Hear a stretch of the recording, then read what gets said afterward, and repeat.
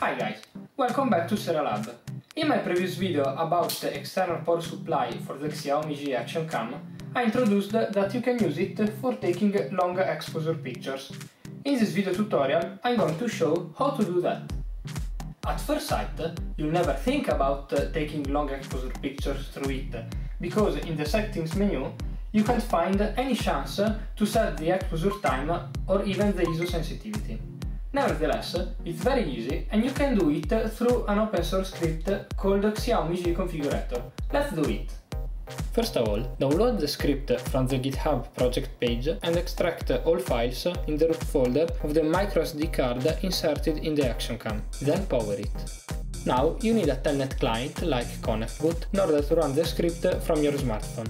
So run ConnectBot after connecting your smartphone to the Wi-Fi network of your cam.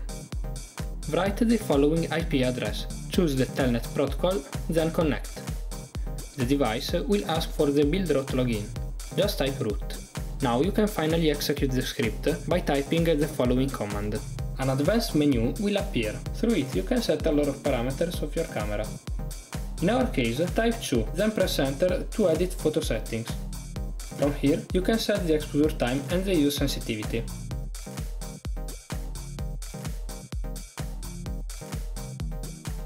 Then type 0 for saving the new settings. Now you only need to restart the camera. In this way, the new settings will take effect. I advise to do that manually, because usually the cam freezes if you do that uh, from the prompt. Enjoy the new settings!